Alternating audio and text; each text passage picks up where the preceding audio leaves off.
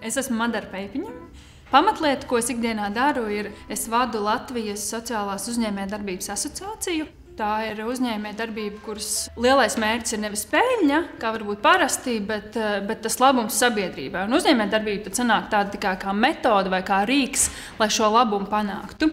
Es esmu Gunts Kuļikovskis, un uh, šī ir Rīgas Tehniskās Universitātes dizaina fabrika, uh, kurā studenti, zinātnieki un arī uzņēmumi var izgatavot savu radošo ideju modeļus, prototipus un uh, panākt to, ka idejas nav tikai uz papīra uzskicētas vai kāda traka zinātnieka uh, galvās, prātos, bet arī materializējušās uh, reālos izstrādājumos.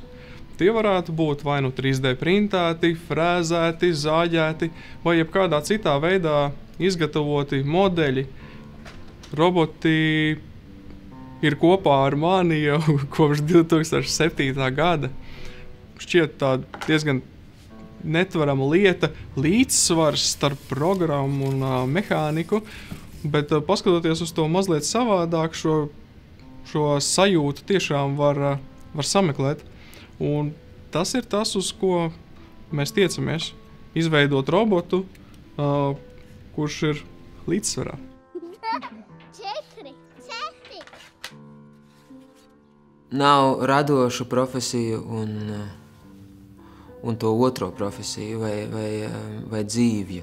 Otra tāda svarīga lieta par radošumu - vairāk turēt acis vaļā uz mazām niansēm un maziem brīnumiem, kas notiek vis, visu cauri apkārt, uz, uz to, kā Deviņi, deviņi. Vienalga, kā bērns pārsakās uz to, kā, kā, kā noskan taurē aiz sienas kaut kur vai, vai kādu dziesmu ritmā nodzied vilcienu sastāvs, kad viņš aiziet. Jebkuram cilvēkam ir tādas dieva dotas dāvanas, kuras, kuras kāds ļoti gaida. Un, un bieži vien sakot, ka man nav nekā, ko dot, cilvēks ir vienkārši pārāk bikls vai bailīgs, lai, lai vispār sevi apzinātos kā kaut, kaut ko, ko kāds ļoti gaida. Jā, šodien mēs kopīgiem spēkiem uh, izgatavojām bērnu dārzam ciparus no 1 līdz 10. Lai katrs no bērniem zinātu ne tikai, ka viņam ir 2, 3 vai 4 gadi, bet arī mācētu tos parādīt uz cipariem. Kā es to izjūtu, kad tu sniedz kādu dāvanu, tad principā tā īstā dāvana ir tā, ko tu ieraugi tajā cilvēkā, kad viņš to dāvanu saņem. Jo tas dāvanas sniegšana, tas ir, nu, tas ir kā mēnesis, teiksim. Un tā īstā saule jau atnāk no tā cilvēka. Acīm, vai no, vai no tā brīža, kad, kad viņš piedzīvo šo sajūtu, ka, ka, viņš ir, ka viņš ir nozīmīgs, ka viņš ir svarīgs.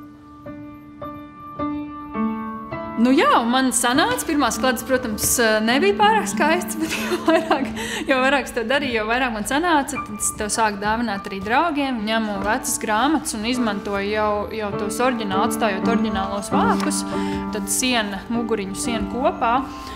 Pēc tam jau līmē klāt, līmē klāt iekšlapas, un tad tā doma ir tāda, ka, ir, ka tur jau vienā grā, grāmatā jau ir bijis stāsts, bet ka tu vari rakstīt savu jaunu stāstu.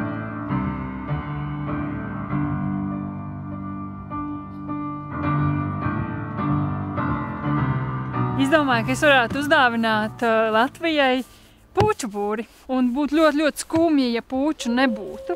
Man liekas, ja es ar tik vienkāršu lietu, kā uzliekot puķu būri, varu kaut vai vienu pucīti paturēt Latvijā, tad uh, man, manuprāt, tas jau ir tāds uh, solīts uz priekšu.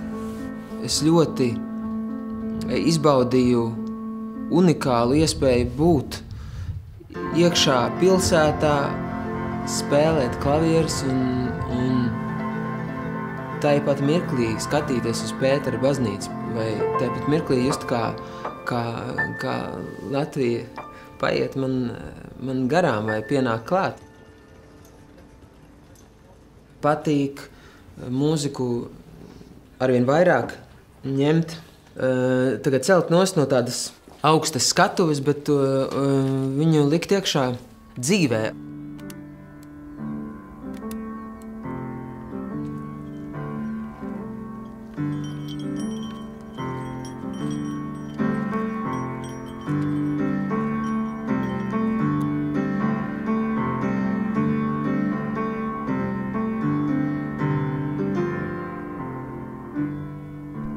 Pasaules kontekstā mēs esam ļoti maza saujiņa cilvēku, kuriem ir iespēja veidot savu valsti, un mēs to esam darījuši kā no mācēdami.